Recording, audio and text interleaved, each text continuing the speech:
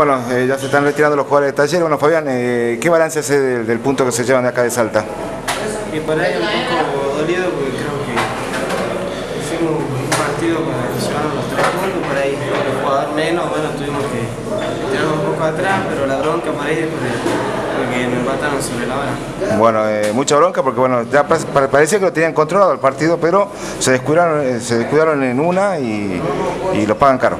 Sí, que lo teníamos controlado, podíamos haber aumentado en segundo tiempo, pero bueno, ya con la expulsión de uno, ya creo que ellos metieron más delantero y nos sacaron. Lo veníamos aguantando y bueno, en la última pudieron concretar y. Ustedes hicieron daño por afuera, a lo largo del partido se dañaron con, lo- con la velocidad tuya, con la velocidad de tus compañeros eh, y desperdiciaron chances. ¿Crees que pagaron caro por eso? Sí, creo que yo también tuve una. Tuviste una de cabeza, ¿no? Si no me equivoco. Una de cabeza por ahí.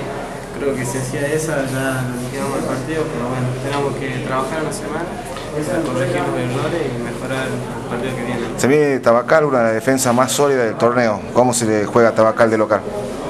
Y es nuestra cancha, tenemos que ganar, tenemos que confiamos en cada uno de nosotros, que creo que vamos a hacer un partido de igual a igual y tres puntos los vamos a dejar en casa. Gracias, Fabián.